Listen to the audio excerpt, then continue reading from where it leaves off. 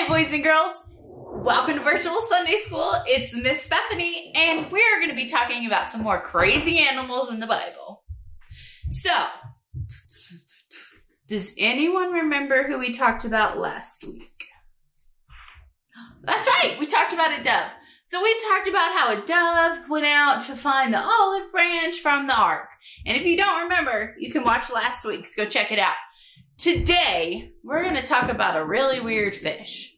Now, if I had this fish, I would catch it every day because every day I would get money. Maybe that doesn't make sense yet, but it will in a minute. Go ahead and grab your Bible and I'll meet you back here. So, today, my kids' Bible didn't have the story I wanted to read. So I'm actually going to be reading the Bible from my phone. Now, some people would say that's kind of silly. Why don't you use your Bible? Did you know that it's okay to read your Bible wherever you are? You don't have to have a special place that you sit. You don't have to have a special version. You don't have to have just a kid's Bible or an adult Bible or a study Bible.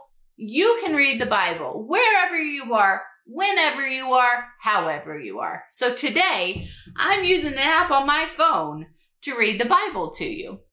I have a video to follow along with as I read. So we're going to be reading in Matthew. Matthew 17, 24 to 27. And I'm going to go ahead and pause now. I know I have the video and stuff, but I'm going to go ahead and pause first because I want you to read it in your Bible and then you can listen to me read it from mine as we watch the video. Go ahead. Okay, welcome back. So, how did you read your Bible today? Did you have a kid's Bible, a study Bible, a Bible on your phone or your tablet? Lots of ways to learn. Okay, so here we go. Ready, video? I hope so. So when they came to Capernaum, the collectors of the two drachma tax went up to Peter and said, Does your teacher not pay tax? He said, Yes. And when he came to the house, Jesus spoke first, saying, What do you think, Simon? From whom do kings of the earth take their tolls or tax? From their sons or from others?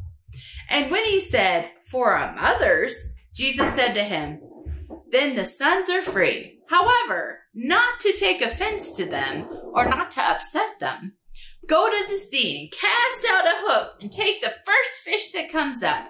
And when you open its mouth, you will find a shekel. That's their money. Take that and give it to him for me and for yourself. Wait a second. Did you hear what I just read? Did you see in that video? He went fishing, and what did the fish have in his mouth? That fish had money in his mouth.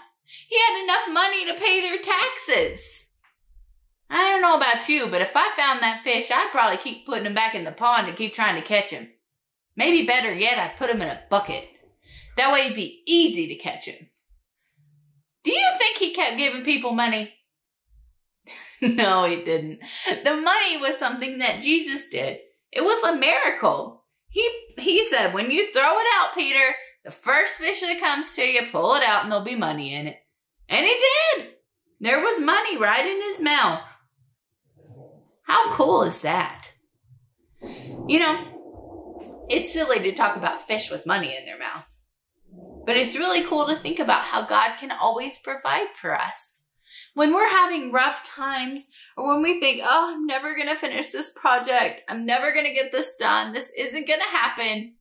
I, I don't even have an idea of where to start. God's always there. And God can sometimes just give a little idea that can turn into an amazing thing that we can do. So, let's go ahead and close in prayer and let's thank God for always providing in moments that we need. Can you pray with me? Dear God, thank you for always providing. Help me to always remember that the way you provide isn't always what I want, but it's what you know I need. I love you, Jesus. In your name we pray. Amen.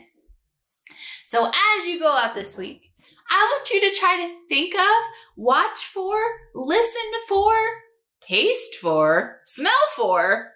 Try to use all your senses to see different ways that God provides for us. He could provide an encouraging word.